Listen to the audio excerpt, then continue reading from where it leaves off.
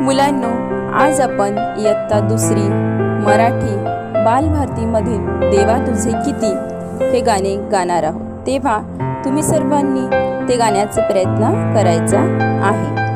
तर चालू करूया इयत्ता दुसरी बालभारतीमधील देवा तुझे किती.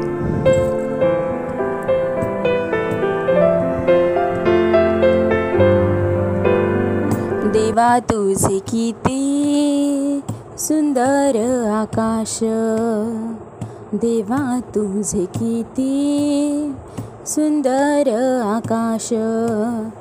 सुंदर प्रकाश सूर्य देतो। देवा तुझे किती सुंदर आकाश।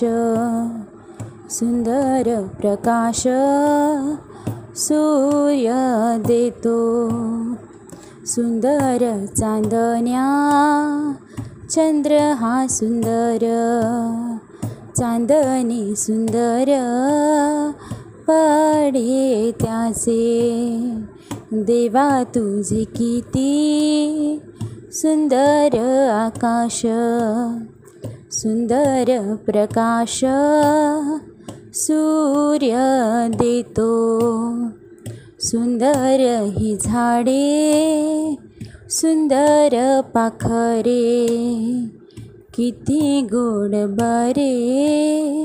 गाणे गाती. देवा किती सुंदर आकाश सुंदर प्रकाश सूर्य देतो. सुंदर वेलींची सुंदर ही फुले तशी आम्ही मुले। देवा तुझी देवा तुझे किती। सुंदर आकाश सुंदर प्रकाश सूर्य देतो।